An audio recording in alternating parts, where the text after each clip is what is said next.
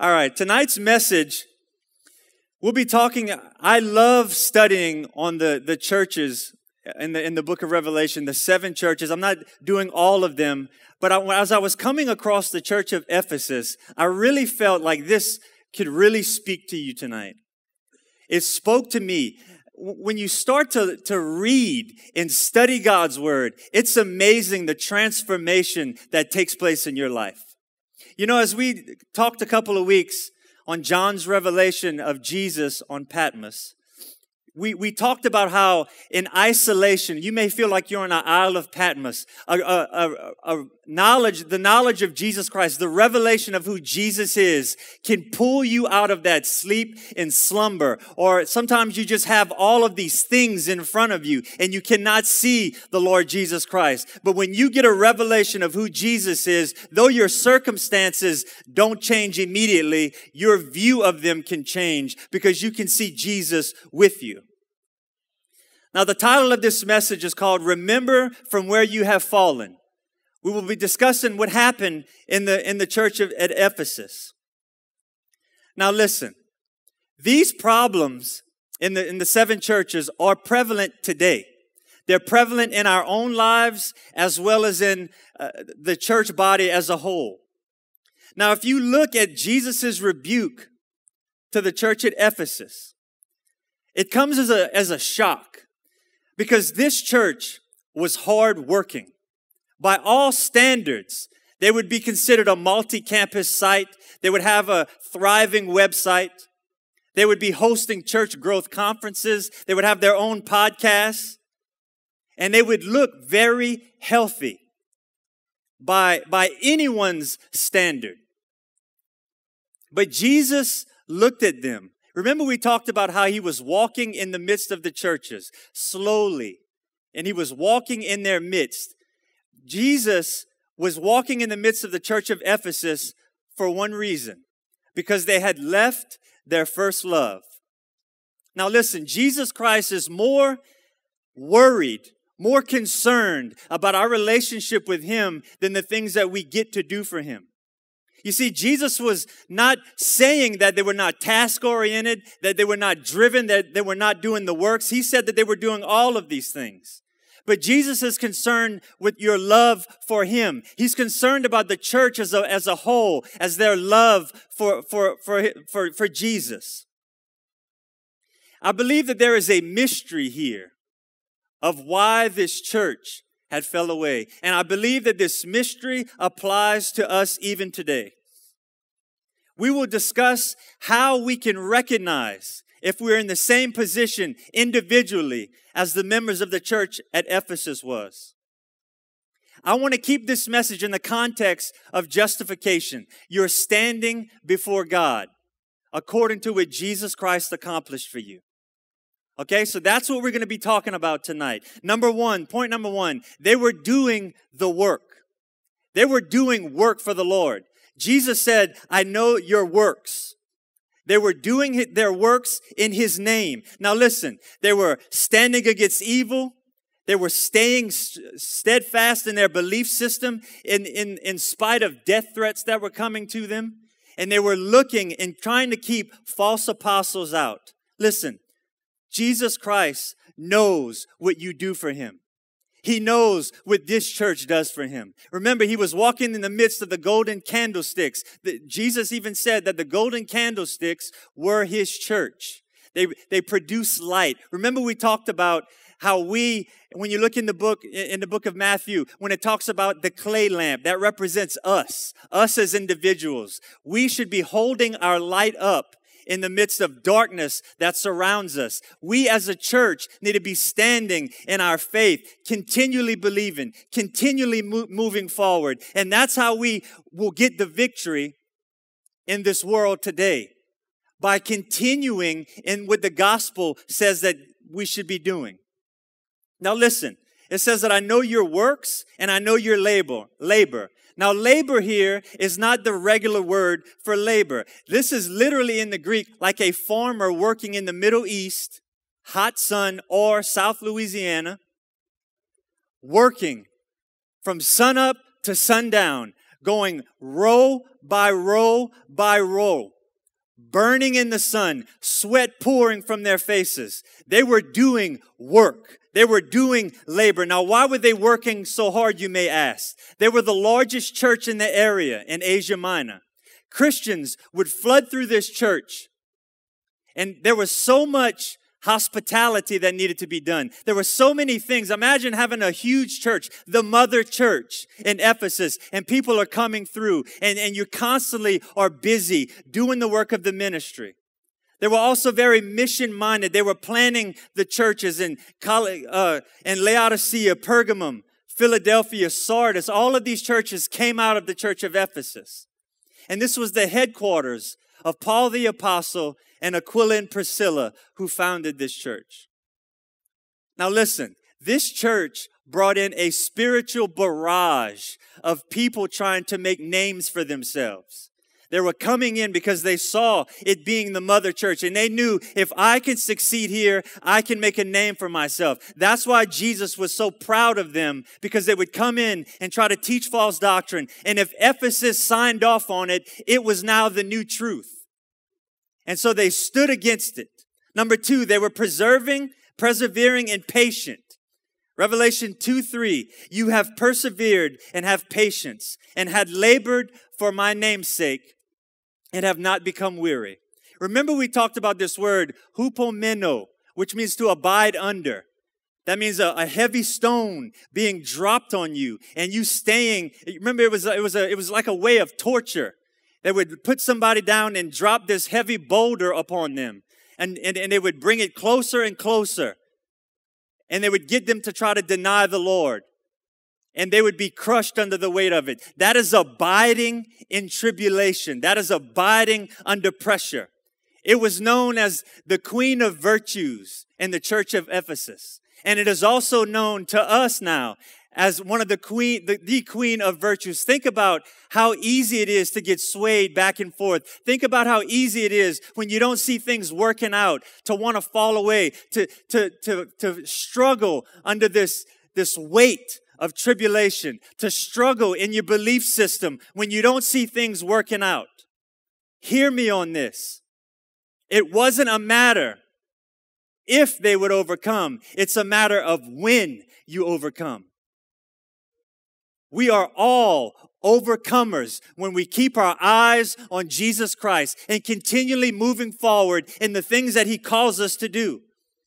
Listen, standing in faith regardless of what you see, regardless of what you see, laying hands on the sick, regardless of what you see, regardless of how you feel, regardless if, if the test results get worse, keep on believing, keep on standing. You might have some kids that are out in the, in the far country and you see no evidence that they're gonna come to, to Christ. Keep your eyes focused on the one who is able to draw them out of darkness in spite of what you see. They can have a Damascus Road experience and totally be changed from the inside out. And number two, stand by the task. Do not waver in what God has called you to do in spite of what you see, in spite of understanding why God is calling you to do something. As a church, we are called to love God, to grow people and reach the world. And that is what we continue to do every Sunday, every Wednesday during the week. Our mindset comes from what Pastor Todd has shared his vision to love God, grow people, and reach the world. And that is exactly what we are doing, what we will continue to do, and we will never stop doing it until Jesus Christ comes back.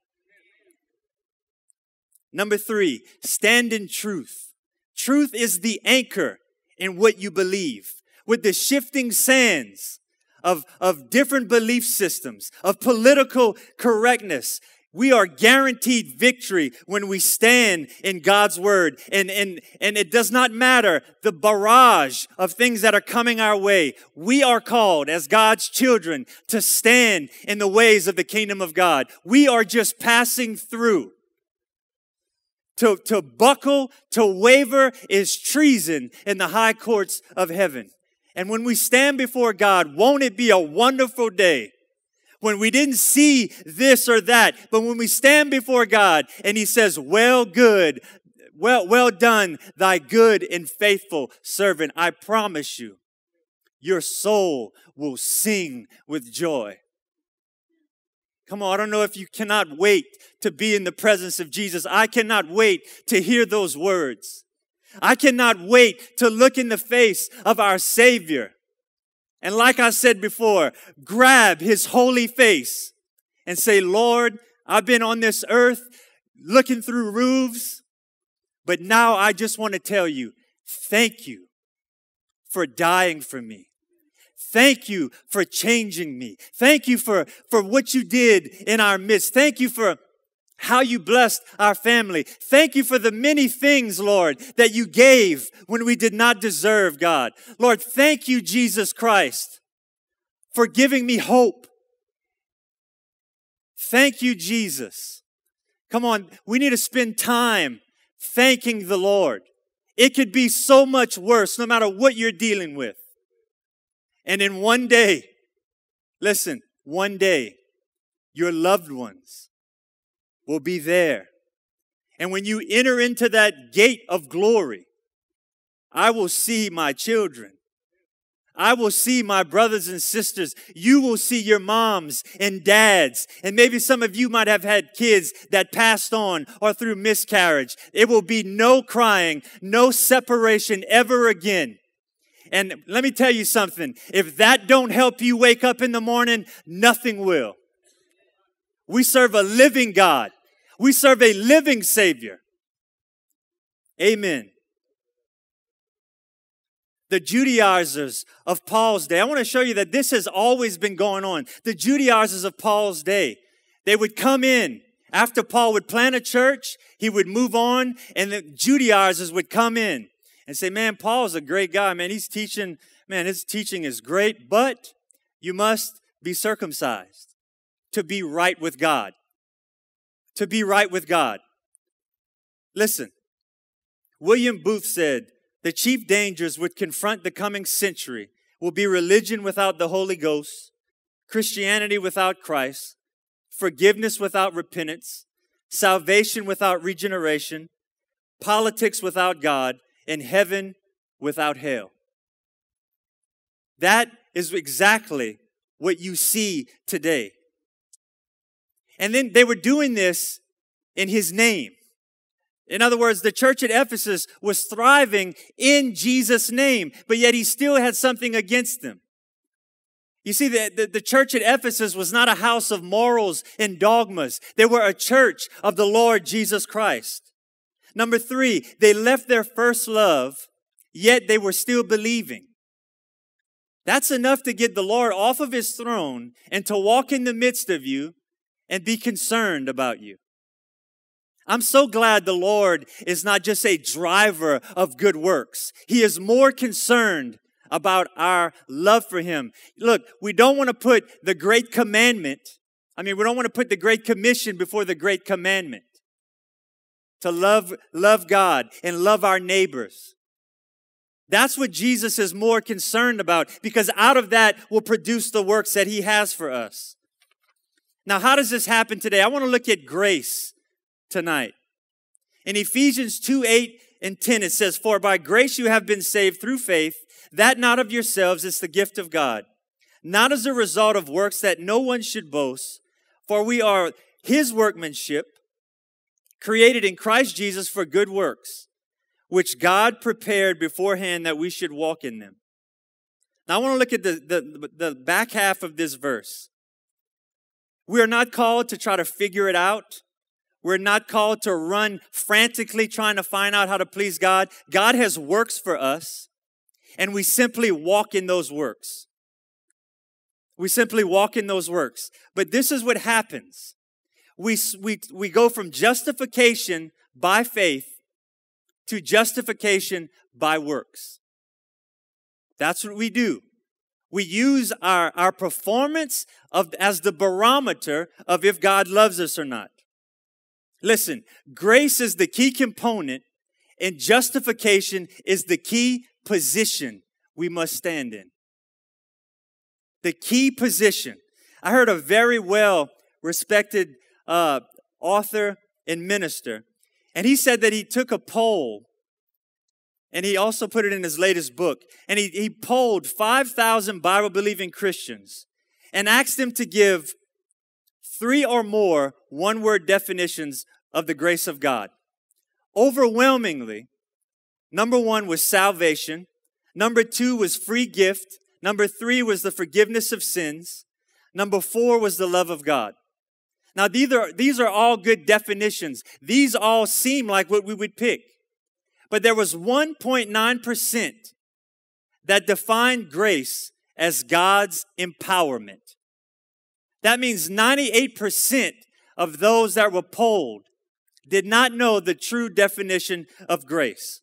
Now let's look in 2 Corinthians 12 9. He said to me, My grace is sufficient for you, for power is perfected in weakness. Do you see that my grace is sufficient for you for my power. Grace and power. Grace is the power that we need to live for Christ, to love Christ, and to work for Christ. In 2 Peter 1, 2 verse 2 and 3, it says, Grace and peace be multiplied to you in the knowledge of God and of the Lord Jesus Christ, seeing that his divine power has granted to us everything that pertains to life and godliness. You see, grace and power. Romans 1 16 and 17. I am not ashamed of the gospel of Christ. The gospel of Christ is God's grace. God, the gospel of Christ is the fact that Jesus Christ came to sinners who did not deserve his grace, but instead he poured out his grace so we could be made righteous before, G, before God Almighty. In verse 3, it says, Seeing that his divine, I'm sorry, in verse 17, for in it the righteousness of God is revealed. Do you understand that the grace of God is the empowerment to live for God? But what Jesus Christ accomplished on Calvary is what justifies us before God. That's where we mix up. That's where we, you know, Satan can have a heyday with you. Listen, so many of your problems will go away when you understand God's grace for you when you understand that God loves you based on what Jesus Christ has done for you. Romans 5, 1 and 2. Therefore, having been justified by faith, we have peace with God through the Lord Jesus Christ. Now listen to this part. Through whom also we have access by faith, faith into this grace in which we stand. Do you get that? We are supposed to stand in faith, stand in grace. The grace of God that brought you in is the same grace that will keep you in. Now listen to this. The Bible says that, de- that God declares us righteous. This is what Satan does to you and to me. He comes and tells you, you think you're righteous.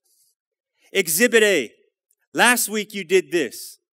Exhibit B, you thought this way. Exhibit C, you reacted like this. Exhibit D, you didn't have quiet time the last three days. Exhibit E, you missed church last Wednesday night. And you know what we begin to do? We say, well, that is true. Maybe the devil is right. Listen, God has declared you righteous. Listen, when you have Satan making this case against you, all you have to do is say, devil, I don't hear what you're saying because God's voice is declaring that I am righteous. And if you don't believe I'm righteous, you take it up with God. Come on, church. We're righteous. We're the righteousness of Jesus Christ. But the issue is we do not stand in grace. We move to works. You know what the problem is? It's like we're bipolar. We do good stuff and we really feel holy, and we don't do stuff and we feel lost. Right? That's exactly what we do.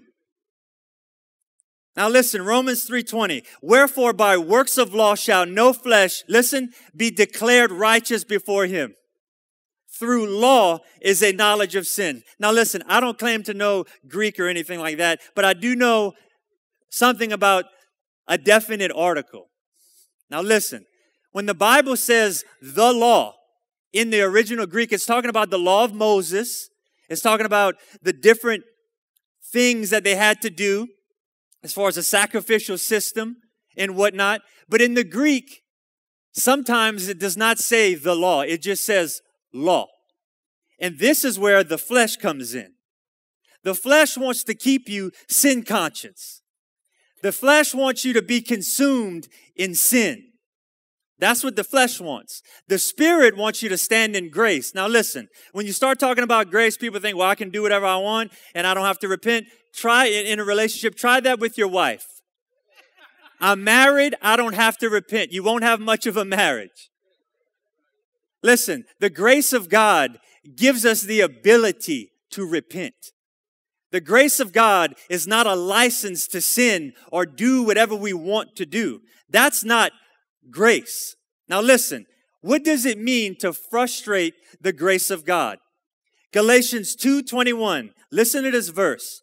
I do not frustrate the grace of God, for if righteousness comes by law, it says the law in the English, but in the original Greek it says by law, then Christ is dead in vain. Now, what does this mean? Can you and I, as a Christian, frustrate the grace of God? Listen, if Paul is saying, I do not frustrate the grace of God, if you flip it around, that tells you the grace of God can be frustrated. And that is the mystery of what was happening in the church of Ephesus. How do we know that? Because they were doing everything in the name of the Lord. They were do they were serving God hardcore. I mean, they were like I said, when you look at the word labor, they were sweating day and night, doing the work of God, keeping the church moving forward. But Jesus was concerned about what their love for him had done, that they were doing this out of obligation. This is what happens to us. Listen, we can take our Bible daily reading plan and make that thing a law.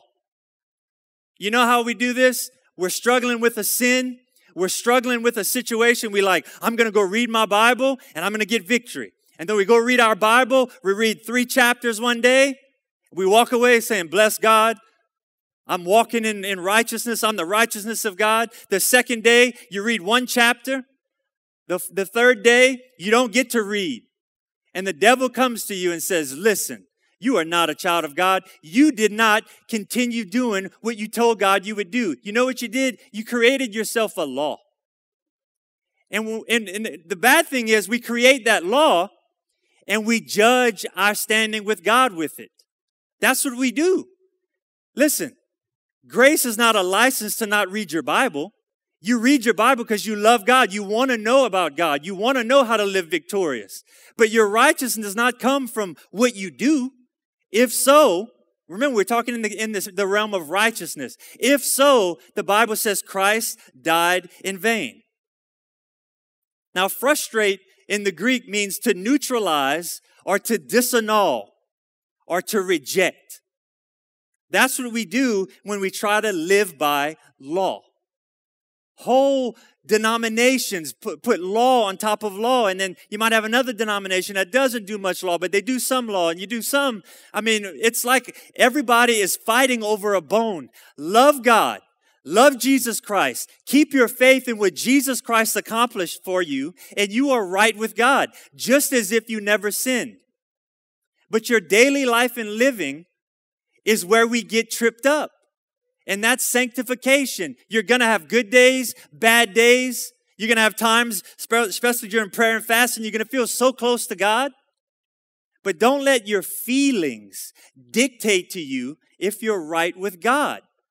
You're right with God because of what Jesus did for you. If you keep your faith in that, you are the righteousness of God.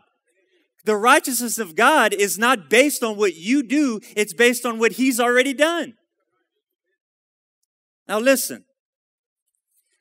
What the church at Galatia was doing is, like I told you earlier, they were coming in and saying, Paul is saying the right stuff, but to be right with God, you must be circumcised. So listen to this.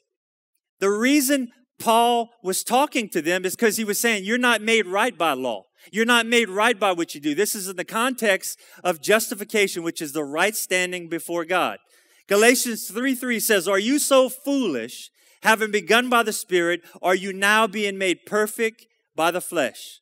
You know what it says in the New Living? Where it says by the flesh, it says by human effort. Not human effort to do things for the kingdom of God, but to be right with God. That's the context.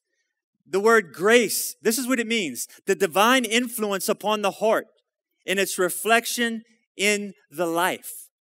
So when, when, when Jesus Christ saves you, his power, because of our standing with him, is now able to flow in our lives. But when we shift to works, our flesh is the influence to do the things of God. We turn to self as influence as well as performance. So listen, anytime we get bogged down in our feelings about what we do and don't do, our eyes are on self. That's the simplest way. Because listen, when you understand this, you want to go out and do things for God. Because the driving force is love. The driving force is, the Bible talks about it's our reasonable service. When you get saved, nobody has to tell me to go and do something for the Lord. When you get saved, nobody had to tell you to stop doing this, don't do this. The Lord began to pour that upon you and you begin to, to operate in, in the ways of God. But this is what happened. Over the years of being doctrinally sound and doing the work of the ministry, they had gotten to a place where they were just working. They were just working. You know, you go to a job, the, the boss might say, I don't care if you like your job, just do what I've asked you to do. That's not how it is with God. God says, I want you to love what you do. I want you to love me, and out of that, will, you will perform the works that I've called you to do. The Ephesian believers, if you read in Acts 19, they begin to burn their occult books. They begin to declare that Jesus was Lord. That's what they did. But the, their driving force was love. The driving force was that their salvation had come to them. Listen, this is what happens to us. We, we, we get saved, and then we start doing things. Listen, when you came, let me ask you this. When you came to the Lord for the first time, didn't you feel free?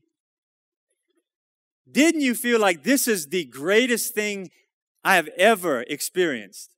You didn't read your Bible reading plan yet. You didn't start doing things. You probably didn't even turn on a Christian radio station. Come on. After getting saved, I didn't even mind putting on Carmen. I, I used joke, Carmen really kept me out of the kingdom of God for so long because I was like, man, I really don't like Carmen. And I felt like if I got to listen to that, I don't know if I can handle being a Christian. That's just, you know, Carmen's great. He's a mighty man of God. So let's keep, move on. no, but listen, in our relationship with God, maybe you're like I was, and still time, still sometimes am. You spend 90% of your prayer life repenting for the same thing over and over. The Lord forgives you, and you go back to that thing and you say, Lord, that thing we were talking about earlier, I'm so sorry for it. And God's like, I don't remember. That's one thing God can do. When He tells you He forgets, He chooses not to remember. The Bible says that it will not be remembered against you anymore. God has forgiven you. Move on from what is plaguing you in your conscience because that's just the devil trying to condemn you. And I'm not talking about the group that just plays church. I'm not talking about that. I'm talking about the true Christian, true Christian that loves God and is trying to serve Him with all of their heart, soul, and mind. Walk away from condemnation. Remember, the Bible says that we are to stand in grace. Listen, when Jesus saved you, he knew we would still be knuckleheads after we got saved. He knew. He knew what we would do. But our, um, listen, there's nothing in the Bible that I want to do that's bad. Nothing in my life, no, should be nothing in your life that you look at and say, I like doing this. If you're a true Bible believing Christian, you don't like the things that God doesn't like. Now, we may still struggle with them, but we don't like them. We don't say, This is part of my life and God just has to deal with it. No, that's not salvation. Salvation is be, Him being Lord. When God puts His finger on something, we say, Yes, Lord, I want to get it out of my life. But here's the key Lord, I don't want this, but I'm driven by it. That's the difference. I don't like this, God. And then you go back to it and you walk away, man, I, I hate dealing with this. I hate that I, that I can't control my temper. I, I hate that I can't. You are saved. You are just a card carrying member of the Christian faith. You are saved. So don't let the devil come to you and tell you, oh, you just prayed a prayer. Listen, you can come up to the altar and pray a prayer. You can go into the baptismal tank. You can go in a, a dry center and come up a wet center. But here's the key. When you pray to ask the Lord into your life, God regenerates you. That's what happens at the altar. That's why you walk away and you go back in the world and you see things different you don't want to do this. You don't want to do that. Friendships now make you uncomfortable. What happened? God has regened you and you can be justified in that. Now listen, human nature wants to atone. That's what, that, that's how we do. We feel like, okay, I, am sorry, God. And if you really mean it, I'm sorry, God. I, please forgive me. We think like, nah, I got to sweat it out a little while. I got to roll around and grovel. And you can do that. You can do that. But don't let that be, okay, I repented for a specific sin and I, I rolled on the floor for an hour asking God to help me. And then I committed the sin again and it, I only groveled for five minutes. Listen, if you are sorry, you are sorry. Bring it before God and you'd be surprised that God is saying, I forgive you. I understand. Jesus said that, that he understands all of our weaknesses. Though you fall a hundred times, if you don't quit, God won't quit. Get up, dust yourself off, put your headphones on so you cannot hear the devil throwing accusations, accusations uh, at you and walk away in the victory that Jesus Christ died to give you. And eventually, as you walk in His grace, you begin to think like, man, I hadn't done this in a while. I hadn't gotten mad in a while. Why? That grace is flowing through you because it's the empowerment to live for God. Are you receiving that? Listen, in Romans 8 1, it says, There is therefore now no condemnation for those that are in Christ. Now, when I looked it up, you can look at therefore, condemnation, but I looked at the word in, I in. In the Greek, it's en. And that word means to rest. There is no condemnation for those that are resting in Christ. Resting in your justification. That means hell or high water. You're not moving from your place of justification. Listen, when you get before God and stand on the great day of judgment at the Bema seat, that's going to be some sweaty time, I would think. But when God looks at you, he's going to see Christ.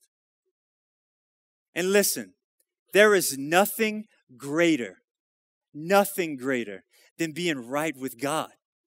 I know what it's like to be at war with God. It's like a gnat beating its head against a granite stone. You will not win. you will not win. Let his love overtake you, and that love will push you to your knees and push you to repentance. And you can get up from that conscious free, walk in His grace, do His works. Listen, you know what happens? We get so sin bound that we think I can't lay hands on the sick because I thought this way, I did this. Well, no one would lay hands on the sick. No one is perfect.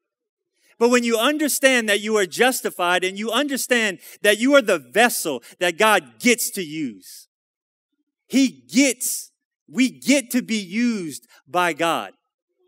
We, that's, listen, that's amazing. The creator of heaven and earth who flung the stars against the darkness of the night, who told the waves how far to come, who told the trees and mountains how high to, how to, how high to go. wants Kelly from New Iberia to do his work. He wants you from Scott and Lafayette to do his work. That's amazing. There's no higher honor than that. Doing God's work is the highest calling on the face of the earth. You would literally have to step down as the president of the United States to be in a, in a calling like that. If you think about it, we are spokesmen, spokesmen for the very kingdom that rules over every kingdom. And God says, I want you to tell this person that I love them. Is that me? Is that the devil? Is that God? Let, let me help you out. The devil will tell you bad stuff. You will avoid it. but God will tell you to do something and then he will bless you for doing it. There's nothing greater, folks. Now listen. Satan will throw things at you.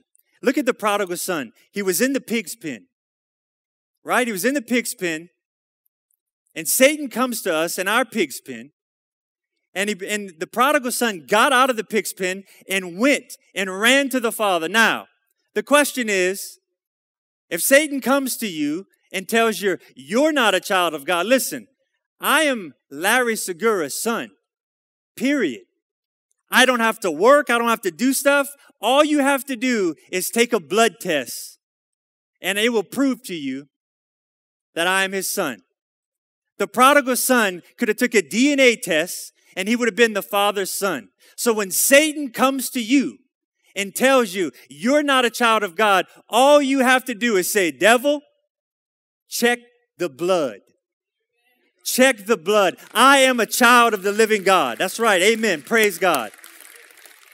And this is what you tell them, because I like to jab, you know, like, uh, like, like my grandpa used to pinch and turn. I like to do that. Like, and devil, just in case you and your little demons don't hear, the same blood that justifies me condemns you. That's right, it condemns him. So walk in your righteousness. Praise God. Listen, our hope, the Bible says, listen to this in Galatians 5 1 and 6. It is for freedom that Christ set us free. Therefore, keep standing firm and do not be subject again to the yoke of slavery. That yoke of slavery he was talking about was law. Behold, I, Paul, say to you that if you receive circumcision, Christ will benefit you nothing. And I testify every, again, to every man who receives circumcision that he is under obligation to keep the whole law. Now listen what it says. You have been severed from Christ, you who are seeking to be justified by law. You have fallen from grace. Now listen, when you look at this, there's justification, sanctification, and my favorite, glorification. At the trump of God, we're going to get glorified bodies. I'll be able to eat whatever I want. I won't have to get on a treadmill. That's right. You will walk. You, I mean, you ain't gonna be taking selfies. It's gonna be amazing. You're gonna just be in your glorified body. You won't have to sleep. You can walk through walls just like Jesus did. It's gonna be amazing. now, listen what it says in verse 6 For in Christ Jesus, neither circumcision nor uncircumcision means anything, but faith working through love. Now, now, faith working through love. What does that mean? I have faith in the Lord Jesus Christ. My faith works, and then his love comes and answers my faith.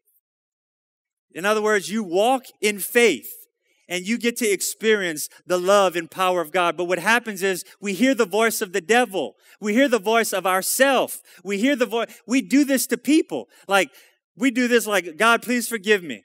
Okay, it's forgiven. But we hold sin against somebody else. We'll forgive them two or three times for the same thing. Four times, come on, you need deliverance. Five times, I'm putting up, up I'm, this, is, this is the Christian word. I'm setting boundaries. I'm setting boundaries. I'm, I'm, I'm doing, no, that's walls. When you, when you walk by somebody and you can't tell them hi because you're mad at them, you got a wall. That's not a boundary and it's not healthy. A boundary is just living your life, honoring them, interacting with them if, if need be, but not building a wall as to where they do not exist. That is unforgiveness. That will frustrate the grace of God. I don't know about you, but I need all the grace that I can get. now listen, we see people in ministry, they fall. They, they, they do something, you know, the whole, the, sadly, the church world points and laughs, but also the world points and laughs, and they title it Fallen from Grace right? That's what you see. So if you were to think, what does fallen from grace mean? You would automatically think that it's sin and that you, you, you, you, you've now walked away from God because you fell in sin. Listen, that's not falling away from grace. That's the person that needs the grace. I mean, my gosh, if we were to fall from grace every time we sin, there'd be no other, other place to fall. It says right here in Galatians 5 4, you have been severed from Christ, you who are seeking to be justified by law. So let me ask you this Is there anything in your life that you're making a law? Are you doing anything trying to keep a law for your righteousness? The grace of God is being frustrated in your life. Maybe you're not getting revelation from the Lord. Listen, this grace is the ability of God working in your life. This is the fight of faith Paul talks about. Fight the good fight of faith. It means going from I'm good, I'm bad, I'm, I'm justified, I'm not justified. Listen, if works is what makes you right before God, how many works is good enough? I mean, how, how many? And in how long of a period of time can you go without not doing those works? Listen, I found a great explanation about being severed from Christ. It literally says the idea is that the Galatian Christians became ineffective in relation to Christ. They put themselves under law and they did not be able, they were not able to derive the spiritual benefits to live a life that was pleasing. That's what it means. Thus, Christ has no more effect upon their living for him. Listen, the prodigal son was the father's son. He was justified. He wasn't experiencing any benefits whatsoever. I mean, he was eating husk and mud, staring at, a, at pigs eye to eye, but he was still his father's son. Listen, when, like I was telling you, when we come to the, to the altar to get saved, we give our life to the Lord. That's the, don't you feel the freest you probably ever felt? But this is what happened. The flesh is like, dude, this feels amazing. So, if this feels amazing, I'm going to come up with some stuff to keep this feeling going. So, this is what I want you to do, Spirit. I want you to start reading your Bible. I want you to go to life group. I want you to do this. I want you to do that because your flesh wants to feel. Faith is not a feeling. Faith is a assurance of knowing that you are God's. And out of that produces your desire to go to life group, to come to church, to read your Bible, to put on worship music, to listen to Carmen. Now listen. Grace is the element of the fire of God that keeps the bush on fire without consuming it. You can do so many things for God and get burnt out. But if you're operating in the grace of God, which means you're not doing what you do to be right with God, you're doing what you do because you love Him. That's why you're doing. That's what Jesus wanted with them. He wanted the church at Ephesus to, to say, man, look, I appreciate all that you're doing, but get back to your first love. Why did you burn those occult books? Because you loved me, church at Ephesus. But they had gotten so to a point where they were just doing things. Are you getting this? I don't want to beat a dead horse, but some horses need to be beaten because this can help us. Sorry if there's any PETA in here. For the record, no horses should be harmed in this message. But listen, let me be serious with you. Satan comes and fuels what you're already inclined to think. It's so easy to believe a lie from the devil.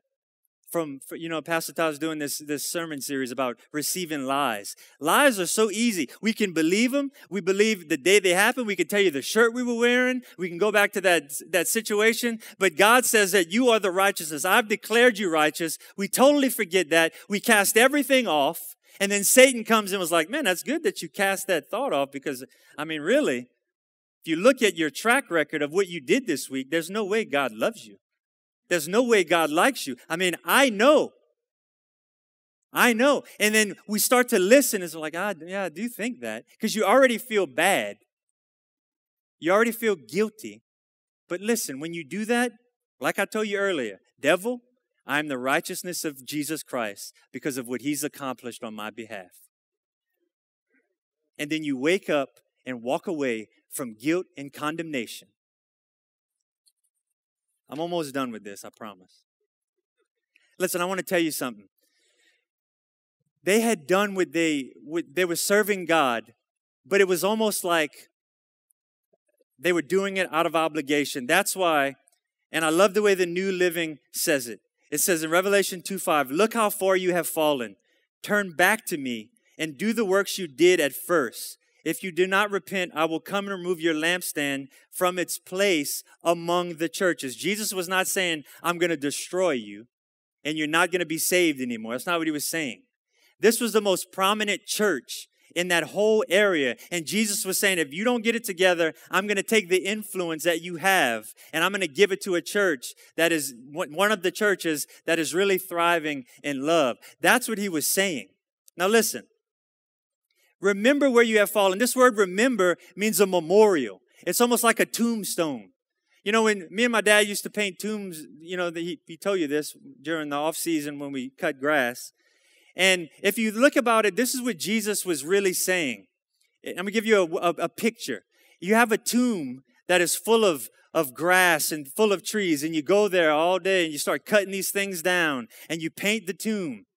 You're doing what you should be doing, but the reason that you're doing it is because you love the person that was in the tomb. And so I want this place of resting to be clean in honor in memory. So, in other words, they were cutting down all the brush and all these things. Jesus was saying, get past your schedules, get past the things that you're doing, and remember the reason why. I am the reason why. I love you. I have saved you. I have empowered you. And that's what he says. So the fourth and final point was turn back to me. That's what Jesus said. Go back to the why.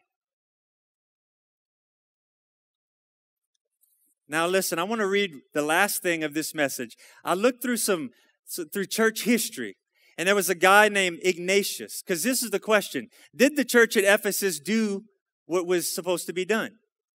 Well, Ignatius wrote a, a letter in 110 AD after this was after after Jesus had given this letter to John.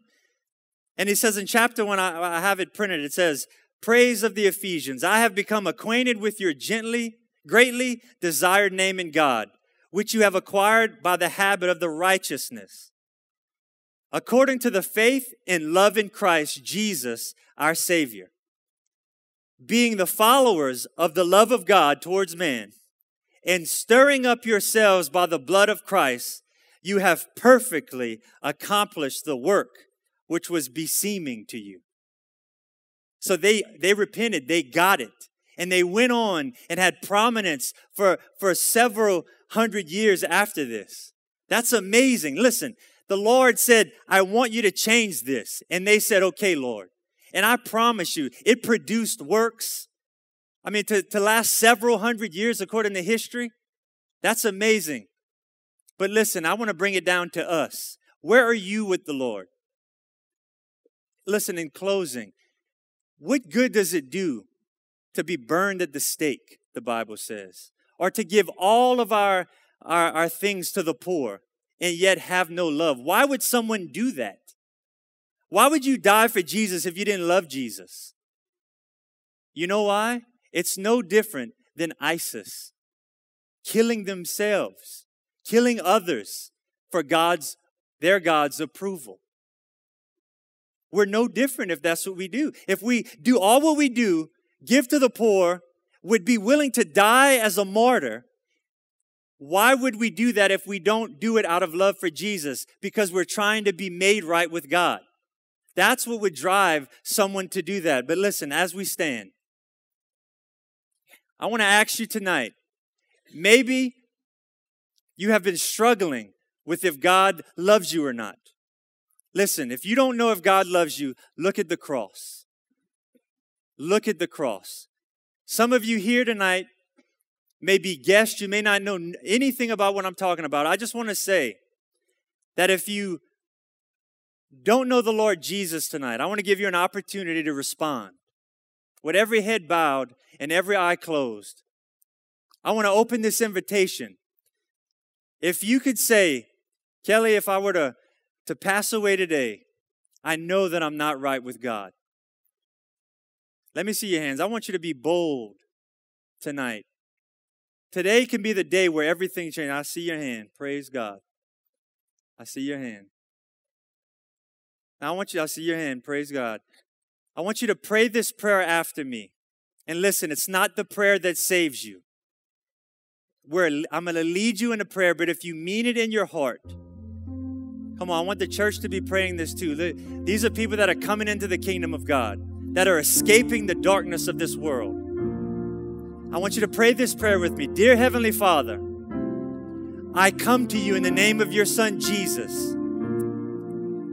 I acknowledge that I have sinned against you. And I ask that you would forgive me and that you would cleanse me of all unrighteousness.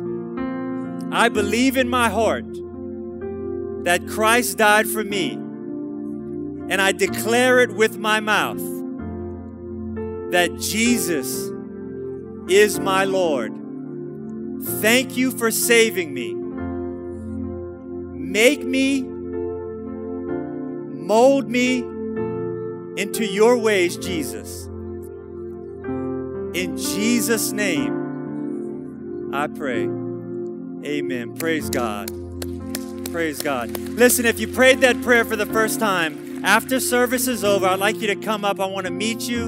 I want to give you a, a, a free gift, and I want to talk to you about moving forward in your relationship. For the rest of you, listen, I hope you understand this message. If there is anything in your life that you're making as a law, stop. Just look to Jesus as your Savior and obey and listen, not out of obligation, but because you love Him. And you watch what God will do in your life, do through you, and do amongst you. Father, I just pray for these, Lord, as they receive your word, God, that you would give them the power to walk it out, God. That grace, God. Lord, we lay down. Come on, if there's anything in your life that you've been putting before God, repent of that. Ask Him to forgive you. Lord, if we put our works, as a means of righteousness. We are sorry. We ask you to forgive us and cleanse us. Lord, our faith is rooted and grounded in what Jesus Christ did at Calvary, and that alone is my righteousness. Lord, I thank you. Empower me to walk in your ways. In Jesus' name, amen. And the church said, Amen. Praise God. You are dismissed. God bless you.